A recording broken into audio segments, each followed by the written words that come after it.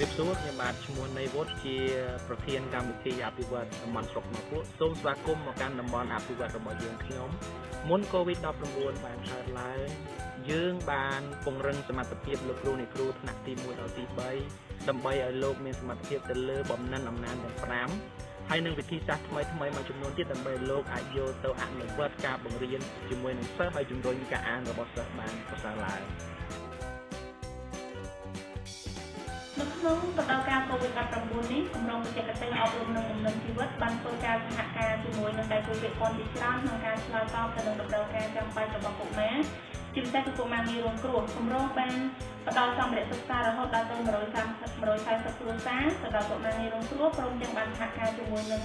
អ្នកស្ម័គ្រចិត្តនៅក្នុងជំរំអំណាចចូលគ្រូសុខទុក្ខក៏ដូចជាបានបង្កើនសកម្មភាពរៀននៅក្នុងជំរំអំណាចបន្ថែមទៀតផងដែរនេះជាសកម្មភាពឆ្លើយតបពីគម្រោងអប់រំសូមអរគុណ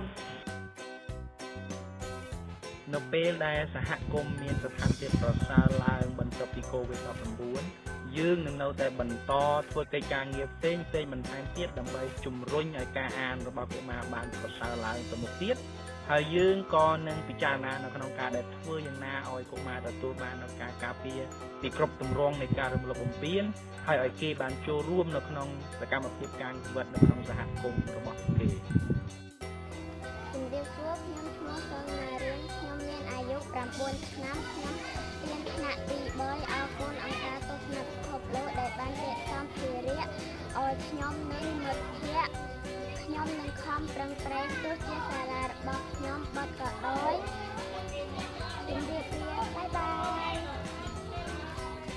អរគុណអ្នកតម្រុំម្ដងបាយបាយ